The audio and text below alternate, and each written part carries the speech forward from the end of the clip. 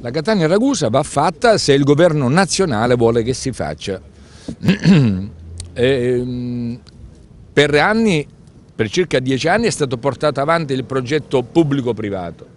Ora eh, il ministro dei 5 Stelle dice che non può essere più pubblico-privato ci dica come deve essere. La Regione ha messo a disposizione una somma che è di oltre 200 milioni di euro, ha detto che interverrà eh, per il pagamento dei pedaggi per non farli pesare sugli automobilisti, però insomma che il Ministro Toninelli ci dica quello che vuole fare. Se non dovessero arrivare risposte positive, a maggio sono pronte manifestazioni di protesta eclatanti. Gli amministratori siciliani, con in testa il presidente della regione Nello Musumeci, non vogliono più aspettare.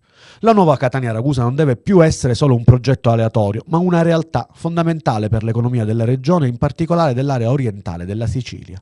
Un collegamento che i siciliani attendono da troppo tempo. Anacronistico, anzi assurdo, che per andare in auto da Catania al capoluogo Ibleo si debbano perdere ore e soprattutto si debba rischiare la vita in una strada statale troppo spesso cornice di incidenti drammatici è un'arteria della quale si parla da oltre 30 anni, beh, io credo che in Sicilia dobbiamo ormai dirci stufi di questo tipo di atteggiamento. Nel nord Italia un'opera si può fare in 3-4 anni, da noi se ne parla soltanto per decenni. È chiaro che la questione della patata bollente sia ormai di respiro nazionale perché la decisione finale spetta al governo e al CIPE. A pagarne le conseguenze nel frattempo che una decisione venga presa sono gli utenti siciliani, anche perché dopo questo ulteriore rinvio all'avvio del cantiere c'è il rischio concreto che si debba ripartire da zero.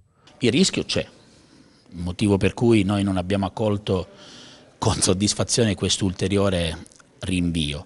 Ecco perché noi vogliamo che si faccia chiarezza, noi abbiamo apprezzato l'idea del vicepresidente Armao condivisa dal presidente Musumeci di trovare risorse aggiuntive per ridurre il prezzo del pedaggio che oggettivamente in base al piano iniziale era particolarmente esoso attraverso l'invito al concessionario di trasferire in Sicilia la propria sede legale, questo determinerà introiti aggiuntivi per la Regione che verranno messi a sistema per ridurre in maniera significativa il pedaggio, ma ribadisco, questo ulteriore rinvio ci preoccupa L'importanza strategica della Ragusana è fuori di dubbio. Oltre a collegare dignitosamente le due città, servirà a dare valenza all'aeroporto di Comiso o, solo per fare un esempio, al mercato di Vittoria. Siamo eh, assolutamente mm, su una posizione di contrarietà verso questa decisione, non è ammissibile, mm, siamo mm, stanchi, dobbiamo eh, muoverci perché, per sensibilizzare a tutti i livelli eh, chi ha il potere per agire, eh, appunto per sbloccare la situazione.